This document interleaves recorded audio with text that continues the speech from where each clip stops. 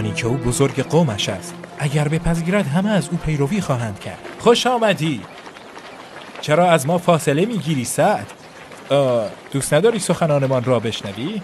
میدانی ابا مامه اگر به خاطر خیشاوندی من نبود هرگز اجازه نمی‌دادم بخواهی عقایدت را تبلیغ کنی.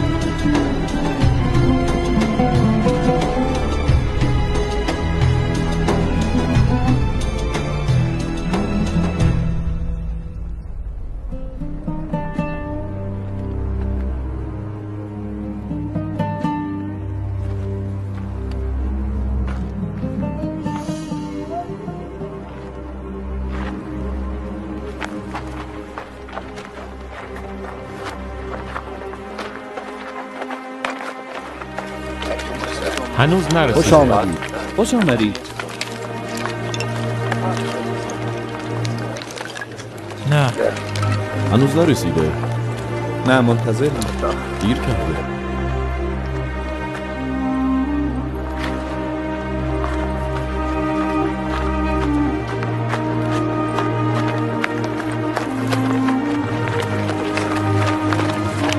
پس کی می رسول الله رسول الله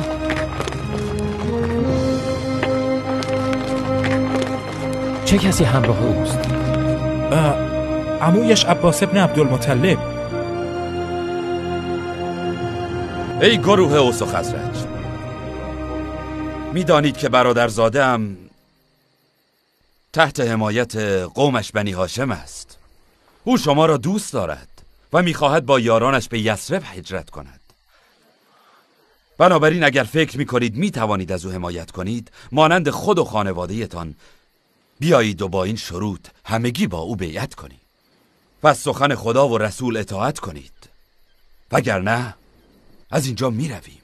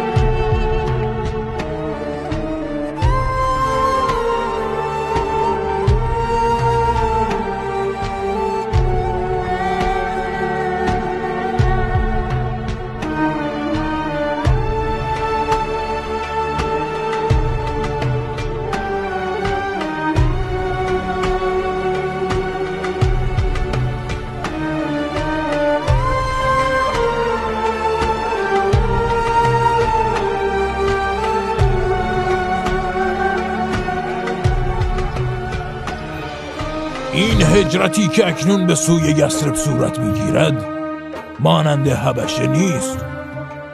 زیرا یاران محمد به شهری بزرگ هجرت کردند که چند روز تا اینجا فاصله دارد و نزد قوم بزرگی از عرب می روند که همواره بر سرزمین حرم با قریش رقابت داشتند و خودشان را با شما یکسان می بینند آنها یمانی هستند و شما از مزر آنها با ایمان به محمد توانستند جلوی اختلافاتشان را بگیرند و با هم پیمان ببندند و یک پارچه شوند. آنها نیرومند و جنگجو هستند. می‌دانیم که محمد به اصحابش فرمان داده که همه هجرت کنند. همه کسانی که بتوانند خواهند رفت. حال چه می کنید اگر همگی به یسرب بروند؟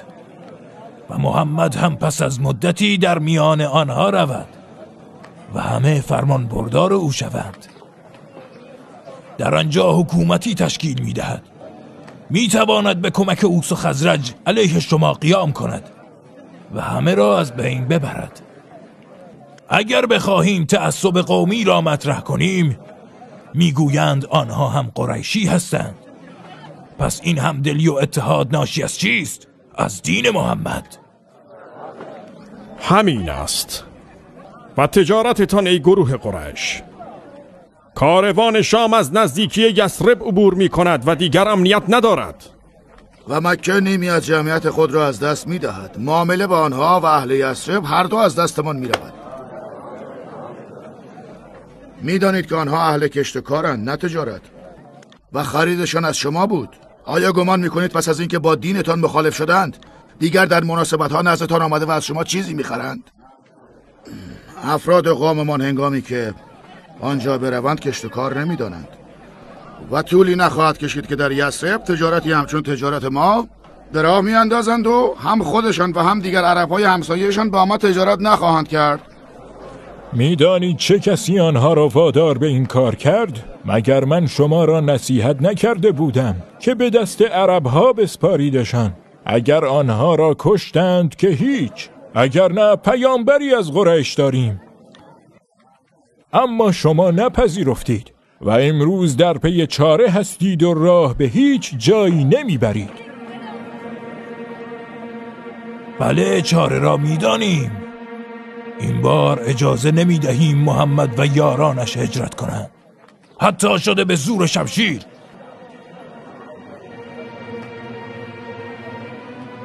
از خانه هایمان شروع می کنیم و نمی‌گذاریم هجرت کنند. هر که فرار کرد ما هم خانه اش را مصادره می کنیم و هرچه مال و سلاح دارد زمین ها چاه آب حیوانات و خدمه.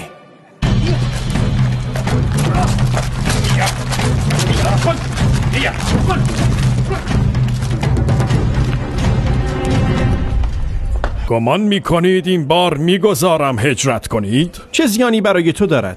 طاقت دوری پسرانم را ندارم. اگر این یکی ماند می‌گفتم تو بروی اما خرابش کردی. لا حول ولا قوت الا بالله. شما نزد من در امن و امان هستید. ما که نمی‌دانیم سرانجام چه می شود سعی می کنیم گهگاه اینجا سر بزنیم. حسنش این است که با هم هستیم. اما باطل پایت را زنجیر نکرده. ولی پای ما به خاطر حق در زنجیر است. مگر نمی‌گویید که میان شما و الله حجاب و واسطه و فاصله ای نیست؟ پس چه فرقی می کند که آزاد باشید یا زندانی؟ لا حول ولا قوت الا بالله. چیز دیگری برای گفتن نداری؟ از این میترسم اگر دعا کنم دعایم علیه تو باشد چون دعای مظلوم سریعتر اجابت می شود من فکر نمی کنم که اصلاح شوی. باز هم زنجیر. و بازگشت. خوب نیست. لا حول ولا قوت الا بالله. شکایتم را نزد خداوند بزرگ می‌برم. برایش دعا کن. وای بر من. چرا خودم را به دست پدر انداختم؟ اینقدر سخت نگیر. میان من و هجرت این زنجیر هاست؟ اینها؟ اگر به خود رحم نمی کنی لاقل به من رحم کن.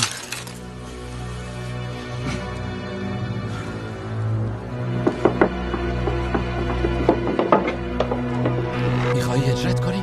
بله. من هم بعدا میایم اما نمی‌توانم جلوی چشم همه حرکت کنم مخصوصا به خاطر برادرم ابل حکم پس جایی در راه هم دیگر را می‌بینیم. برادرت سلامه چه کرد؟ قرار گذاشتیم با هم نباشیم تا ابل حکم بو نبرد. در فرصت مناسب به ما ملحق می‌شود.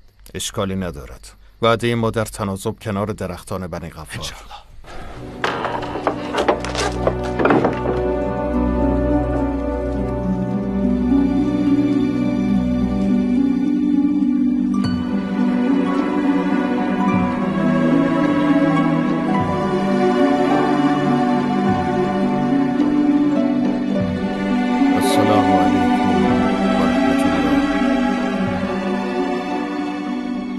السلام علیکم ورحمت الله.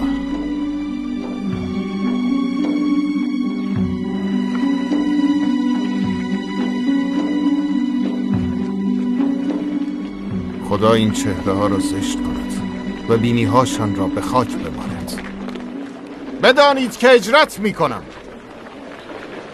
پس هر کس دوست دارد مادرش بعضایش نشسته فرزندش یتیم شود پشت این دشت منتظرش هستم.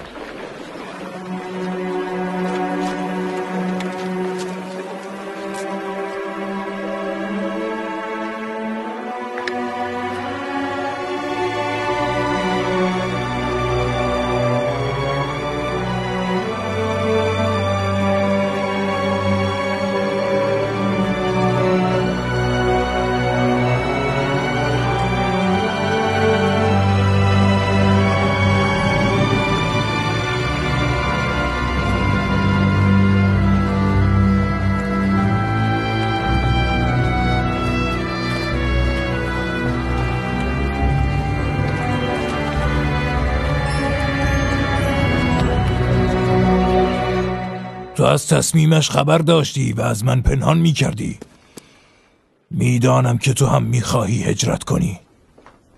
کور خواندی. او را هم بر میگردانم بعد هم حسابتان را می‌رسم.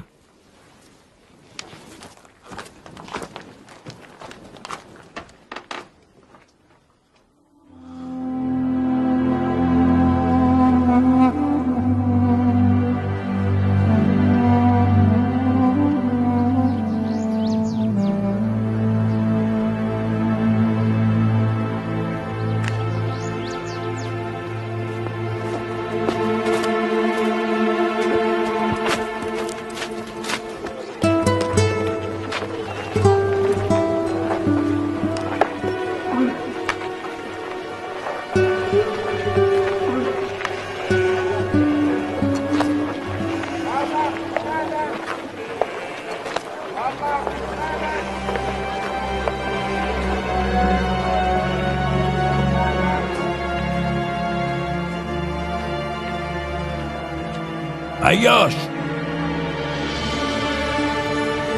ابوالحکم؟ چرا دنبال من راه افتادی؟ خودت میدانی که من بر نمیگردم. تو هم اینجا قدرتی نداری. پس برگرد. گوش کن. قضیه مادر است. من هم به خاطر او آمدم. حالش اصلا خوب نیست. دلش برایت تنگ شده. از وقتی که تو رفتی هر روز گریه می کند و لب به هیچ غذایی نمی زند. راست می‌گویی. به خدا قسم می خورم. وای بر تو. گویی نرم شده و باور کرده ای به خدا آنها می‌خواهند تو را از دینت بازگردانند. از آنها بترس. مطمئن باش اگر سر مادرت خارش گرفت شانه می‌زند. و اگر گرمایی مکه آزارش بدهد زیر سایه می‌رود. به تو هیچ ربطی ندارد. تو دخالت نکن. او برادر من است. و من هم برادرش. الان وقتش نیست. میایی یا نه؟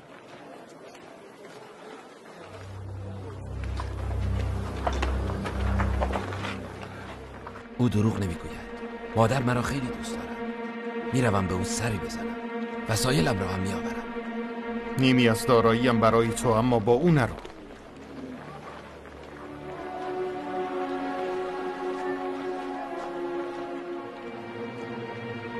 با او می‌روم. خیلی زود برمیگردم.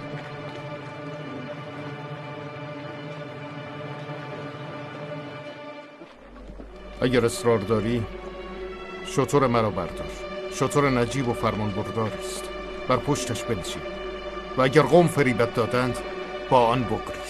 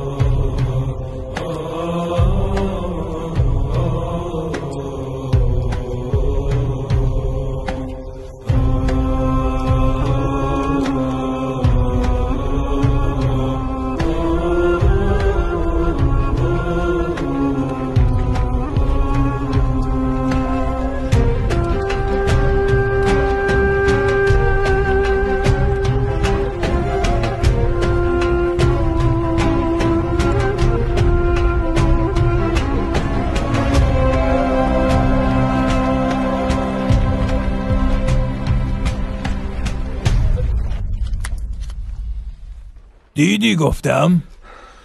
وعده دادم که تو را میآورم. تا حساب هر دویتان را برسم. حالا با هم خوش باشید. می‌دانم با شما چه کنم. آری معلوم است که ما اینجا با هم خوشیم. راست گفتی عمر. چقدر احمقی ایاش ابن ابی ربیعه چقدر احمقی؟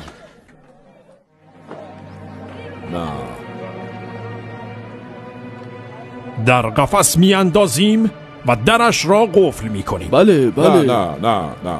بهتر است او را تبعید کنیم. هیچ کدام فایده ای ندارد. خب تو هم نظرت را بگو ابل حکم. باید از هر قبیله ای یک جوان قوی و جنگجو بگیریم. اصیل و نجیب باشد. به هر کدامشان چه می دهیم شمشیری برنده.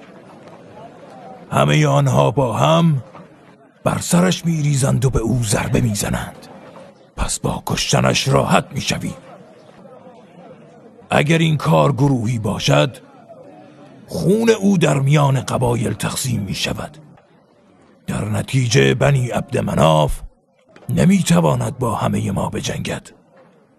به دیه رضایت می دهد و ما دیه می دهیم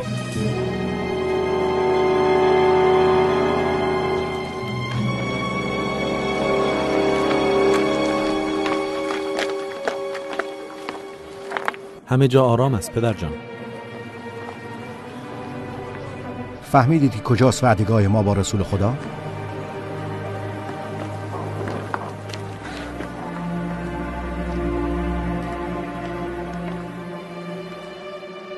به خدا قسم همراهی با رسول خدا را با دنیا عوض نمی کنم.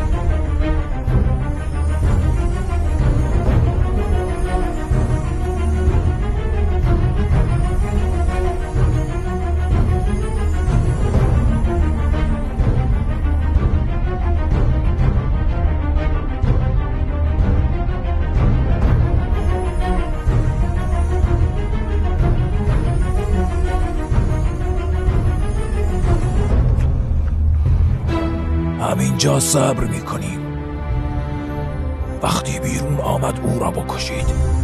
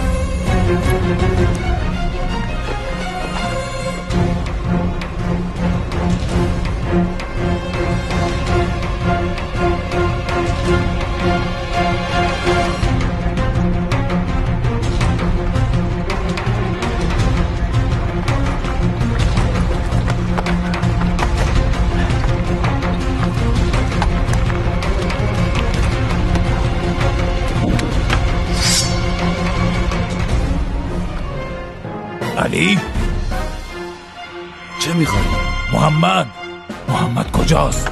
محمد کجاست؟ محمد کجاست؟ نمی‌دانم. رفته.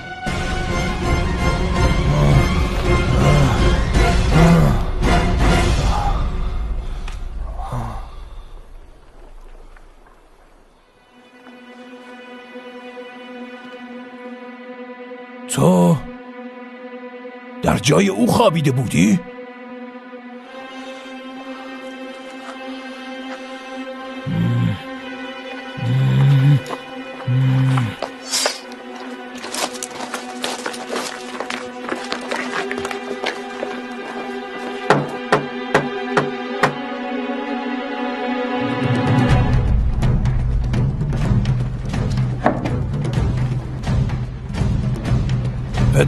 کجاست؟ نمی‌دانم کجا رفته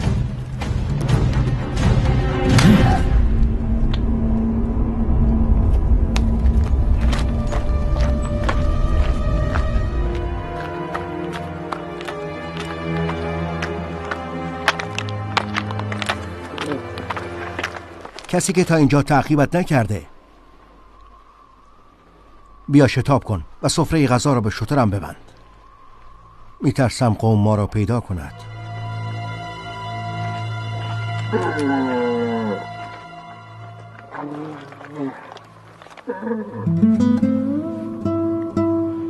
فراموش کردم برای بستنش تناب بیاورم چیزی با خود نداری؟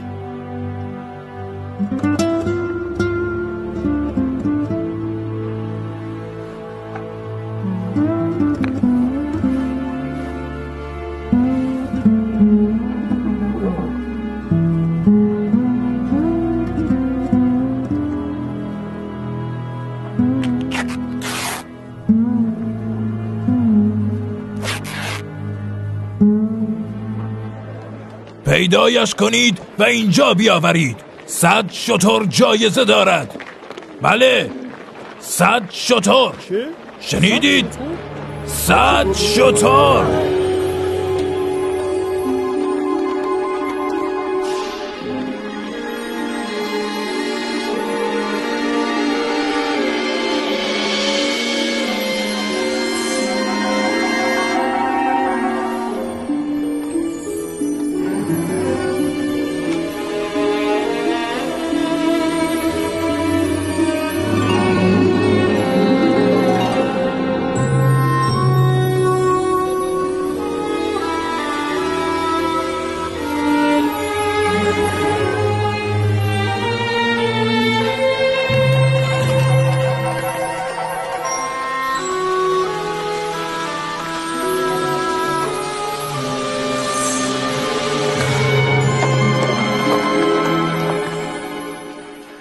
انگار خودشان هستند.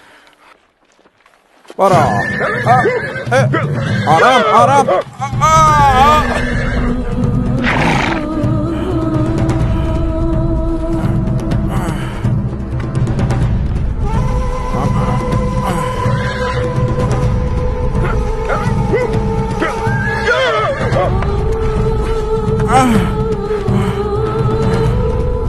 پیداست که حفاظت می شوند صبر کنید کارتان دارم.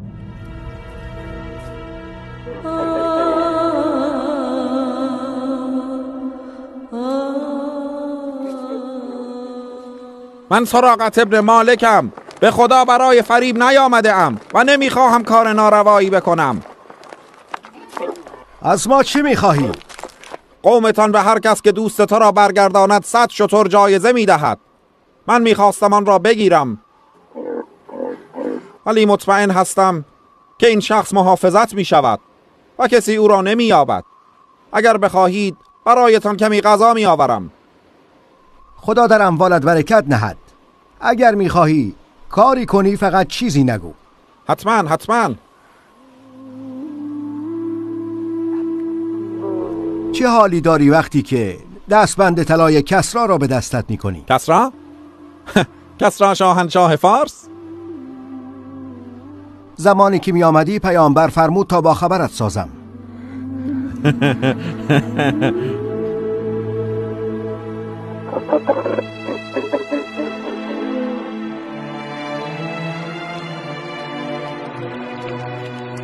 صبر کنید. لازم نیست از این طرف بروید. من از صبح همه جایش را گشته ولی هیچ کس نبود. شما دیگر نروید. من از همه تیز بینترم و اینجا را خوب می‌شناسم. اسبم هم رقیب ندارد.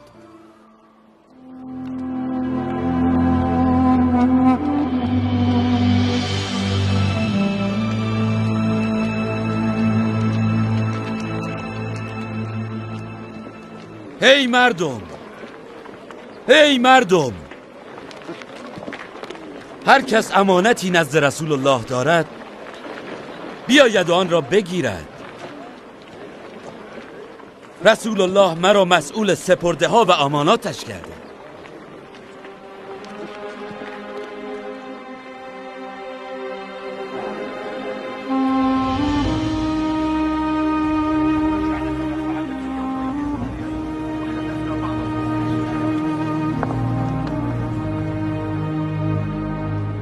چقدر مشتاق پیامبرم؟ اگر نمی‌دانستم که خداوند نگهدار اوست. می‌گفتم اتفاقی افتاده. خیلی وقت است منتظریم. همه چیز مقدر شده است.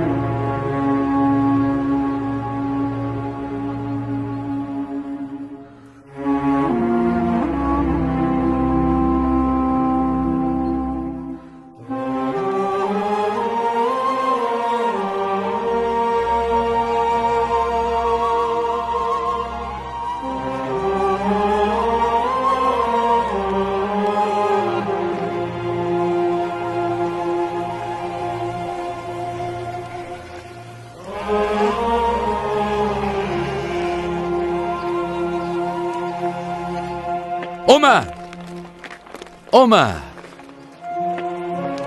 علی پسرم و محبوب و عزیز رسول خدا مشتاق دیدارت بودم. چقدر از دیدنت خوشحالم. مطمئنم پیامبر هم حتما از دیدنت خوشحال خواهد شد. او کجاست؟ مرا نزدش ببر. گمان می کنم در مسجدی که در قبا بنا کرده باشد. من هم در حال رفتن به آنجا بودم. مسجد؟ بله. اولین مسجدی که برای نماز در آن جمع می شویم و هیچ ترسی نداریم. که اینجا می آید فردا یا پس فردا. حتما خدا خواسته تا بدون پسرموی محبوبش علی آنجا نرود. وضع پاهایت چطور است؟ مگر وسیله‌ای برای سوار شدن نیافتی؟ خدا کمک کرد و این پاها جورم را کشیدن. خدا حفظت کند. خدا حفظت کند پسرموی رسول الله. يا محمد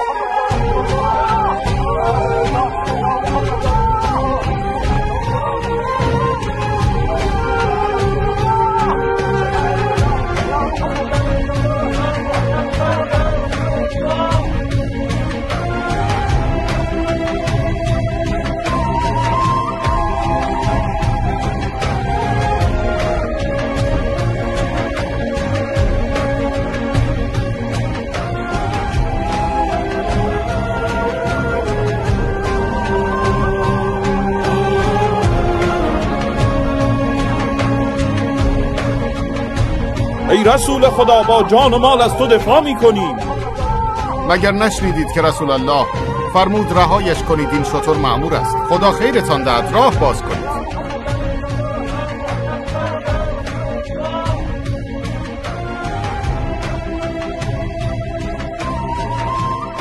ای رسول خدا جایی بهتر و امنتر از اینجا نمییابی.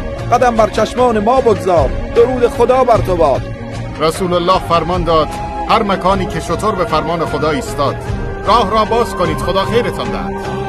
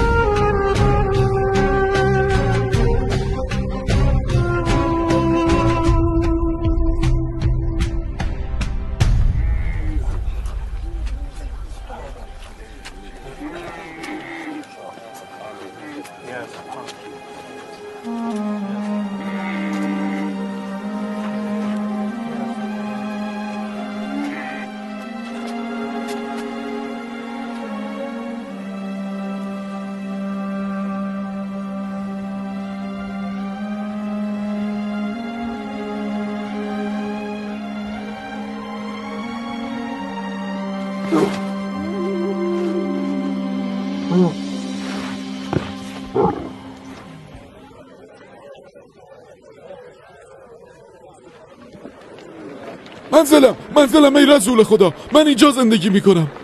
خوشا به حالت ابو ایوب. خداوند خانه تو را برای استراحت رسول الله برگزید. خدایا شکرت.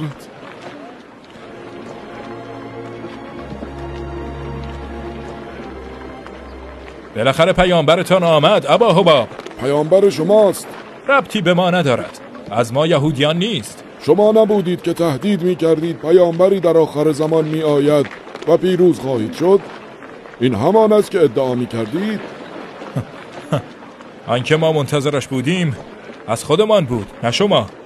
اما این پیامبری که می‌گویی هر نشانه ای هم که بیاورد نمیپذیریم. مانند من نمیپذیرم. هرچند دینمان یکی نیست ابا حباب. هر دو در نفرت از دینی که این مرد آورده هم فکر و هم عقیده هستیم. دین شما بسیار بهتر از دین اوست. ولی صبر کنیم. فکر کنیم و نقشه بکشیم.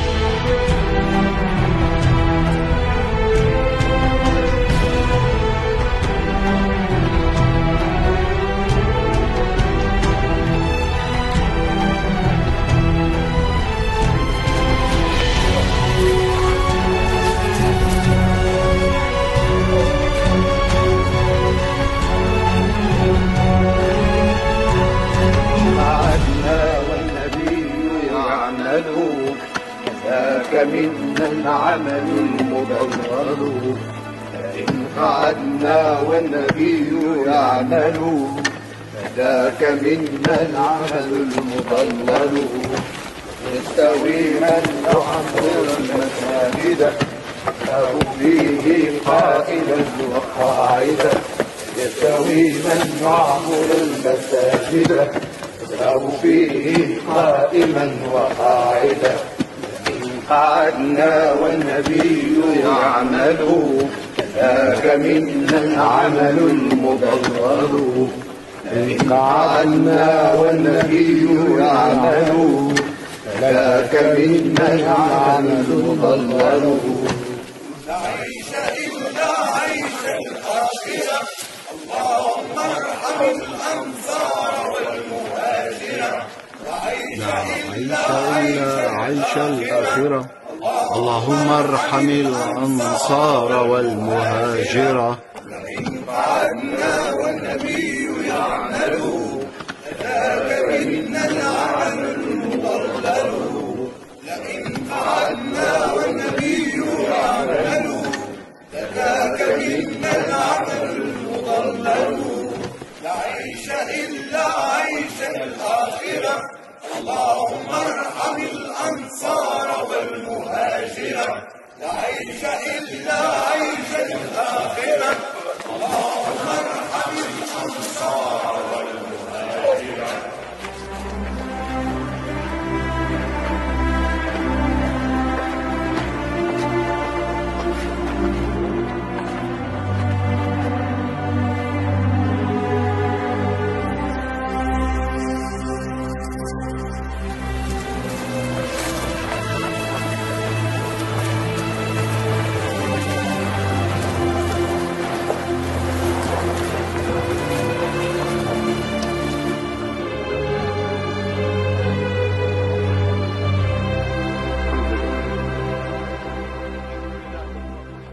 اکنون که رسول الله میان مهاجرین و انصار پیمان برادری برقرار نمود و برادر هر کس را معرفی کرده که تا انگام مرگ برادروار و صمیمی زندگی کنید باید هر کس آنچه برای خیش میپسندد برای برادرش نیز بپسندد و خیرخواه او باشد. چه بسا خداوند شما را در آخرت برادروار بر تخت ها رویاروی یکدیگر بنشاند.